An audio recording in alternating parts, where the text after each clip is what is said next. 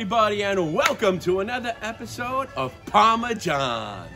Today, I went to the beautiful Gold Coast of Long Island, the Long Island Sound, and I finally caught my dream. I caught a striped bass, striped sea bass. Unbelievable experience. You'll see some footage from it. I've been looking to catch a fish for so long. I am actually the worst fisherman that you're ever gonna know. But today, I caught it. And now, I want to prepare something for you. So I never really cooked anything like this before. So I said, you know what? Let me call my cousin Victor from Italy. My cousin is from the San Marino, Italy, in the beautiful Emilia Romagna region of northern Italy, where it's the cooking capital of Italy. He told me how to prepare it, and I want to share it with you. Now, when I caught this fish, I got excited. I called up my mother. I said, Mom, come over. I caught striped sea bass. You gotta come over. And she says, No, Johnny, I'm going to Arthur Avenue with Uncle Natale and Auntie Joanne and Ziana Maria. I said, Ma, come. She says, next time. So next time, we'll have Mama, Mama Parmesan in this video. But for today, we're gonna cook this beautiful fish, freshly caught in my special oven. And if you come across here, I'll show you where we're gonna cook it. By the way, I caught this fish today with my friend Mike. Mike, what a great time. You'll see him in a video.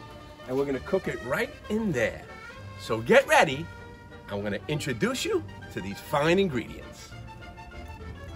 All right, so we're here for these beautiful ingredients. So first, I filleted the fish today, put it on ice. Beautiful, fresh, fresh striped sea bass. I have some thyme.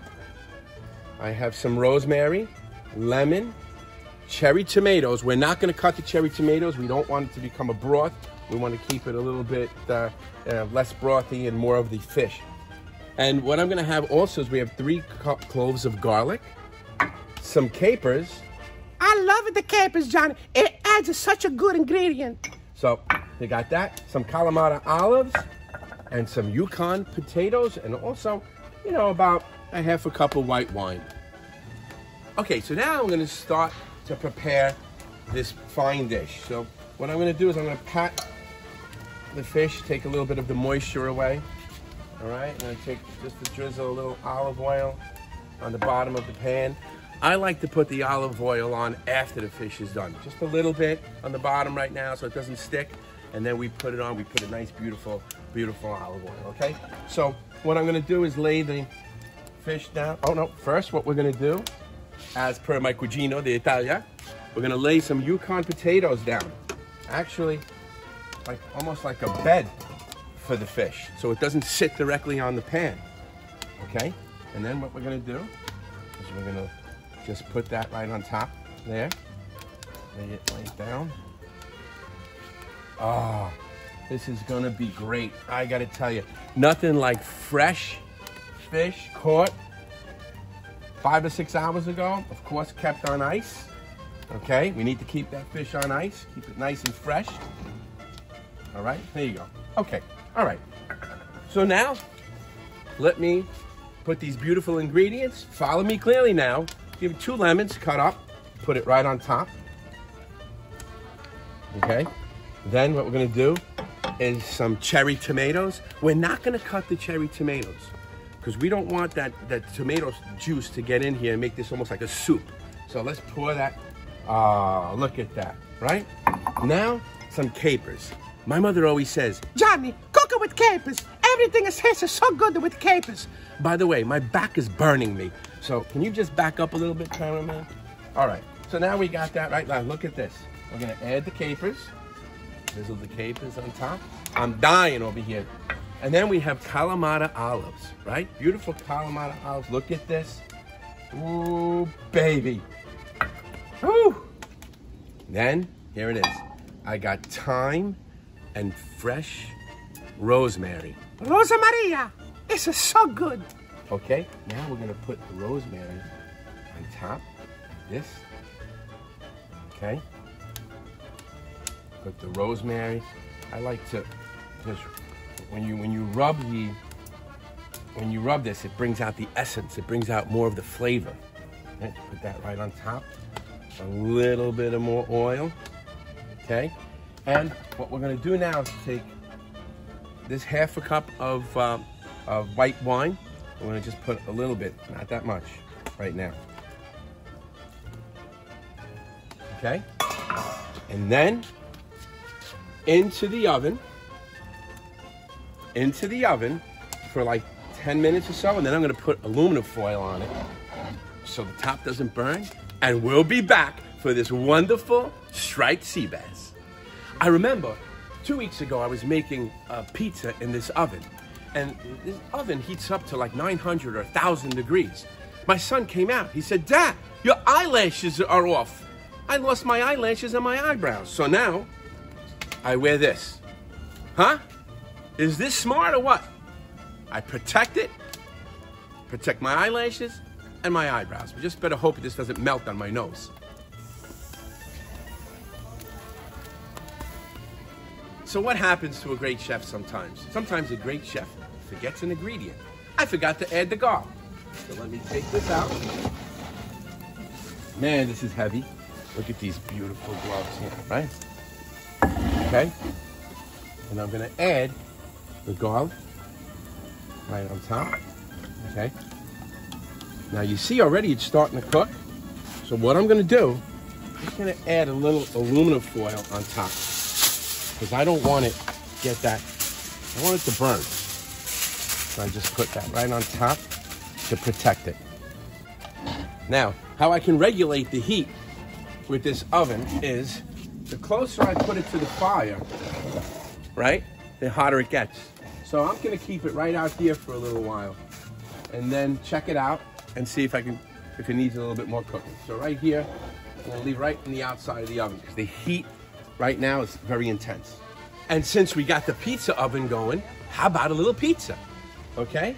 I have beautiful San Marzano tomatoes. Now, all I do is go to Arthur Avenue, I, be, I buy the real San Marzano, right?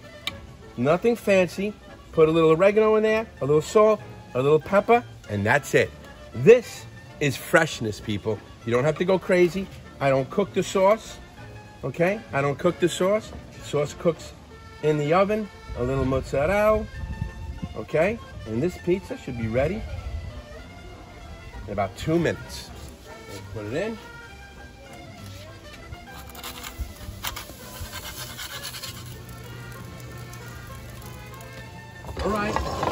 Guess what else I have going on, people? I've got some nice zucchini in the oven. Whoops. A little salt, a little pepper, a little Parmesan cheese on top. Not ready yet, but you'll see how that comes out. Let's check out, let's check out the fish now. Ooh, oh man. Look at those colors. Is that beautiful? How about a little more olive oil, right? How about that? How about, how about the rest of that wine? Whew. Okay. Let me check it out a little bit. Well, still needs to be cooked more. Let's put that in probably for another 10 minutes or so. And we'll be back. Ah, Parmesan, Parmesan cheese. Nothing better. Only the finest ingredients with Parmesan.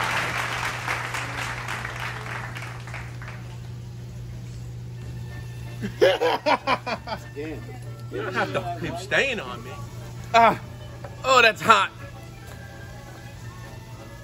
Okay, look what we got going here. Zucchini, just about done, right?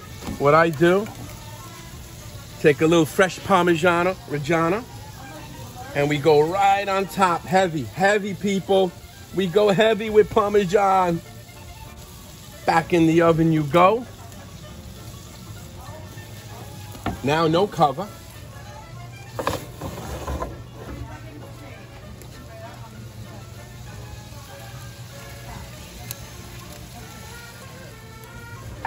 Zucchini just about done. Okay, look at that. It'll still cook in the pan. It'll still cook. But what I do is put the aluminum foil on it and I'll be ready for dinner. That's not getting cold, people. All right, so uh, I know it's a lot of sweat going on over here. I'm only near a thousand degree oven, but it looks like the striped bass is done. So, Mr. Cameraman, take a look at that. We're gonna plate that. That looks beautiful. What beautiful colors. I like to always drizzle a little olive oil on top of that. Look at that. We'll, hit, we'll hit it again later. Let me plate this dish. Let me plate this dish and we'll be back. Okay, here we are. I just plated the striped bass. You can see the I got some tomatoes there, some olives, the beautiful color. Take a look at this, cameraman. And now what we're gonna do is we're gonna drizzle a little olive oil on that. Remember I said olive oil at the end. Good olive oil. We don't go with the cheap stuff here. Look at these colors. Look at this. Striped sea bass, Parma John, the Italian way. Hope you enjoyed this episode. Bon appetit.